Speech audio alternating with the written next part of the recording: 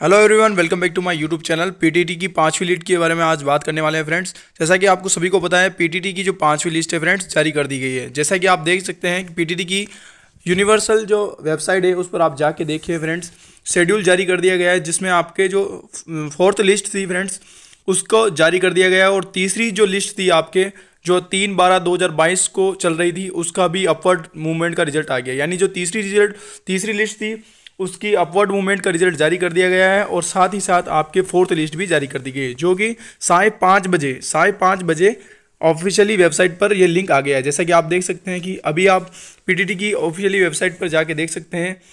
आप PTT students for जो schedule दे रखा है साइड में आप राइट साइड में उसमें आप देख सकते हैं प्रिंट अलॉटमेंट लेटर का ऑप्शन आ गया है फ्रेंड्स तो प्रिंट अलॉटमेंट का लेटर जो कि पीटीटी के विद्यार्थियों के लिए बहुत ही अच्छी खुशखबरी है फ्रेंड्स तो जाइए और अभी डाउनलोड कीजिए फ्रेंड्स अगर मैं आपको कट ऑफ़ की बात बताऊँ तो जो जनरल कैटेगरी के विद्यार्थी हैं, उनके लगभग 360 कट ऑफ़ रही है फ्रेंड्स यानी कि जिनके भी 350 से 360 के बीच में नंबर थे उन सभी का नंबर आ गया फ्रेंड्स अगर वीडियो अच्छी लगी हो तो चैनल को सब्सक्राइब करें शेयर करें। जय हिंद, धन्यवाद।